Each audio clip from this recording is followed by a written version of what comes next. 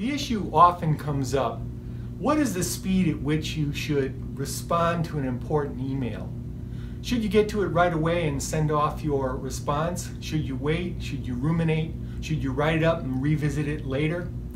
I opt for the third possibility, which is write it up. In other words, capture your feelings right in the moment capture the essence of what you want to say when you first saw it and what your response is to it.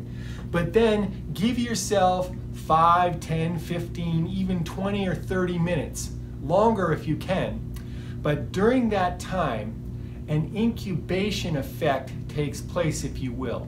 You think about other things you turn to other things. When you come back to the email, you have much greater perspective now. You're less likely to say something that could possibly be judged as inflammatory. You're less likely to retort in a manner that the other party might see as curt.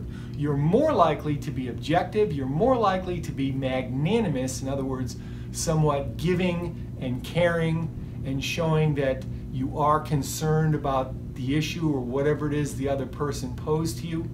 And so it's to your extreme advantage to have some separation between the time you first put your words down on the screen, saved it as a draft, and then actually fired off the email. We've all sent emails too quickly and we wish we could take them back and bingo, they've already gone out into cyberspace. Knowing that you're at your best when there's a little time in between your first thoughts and what you actually send may be the prompt you need to start that habit right now.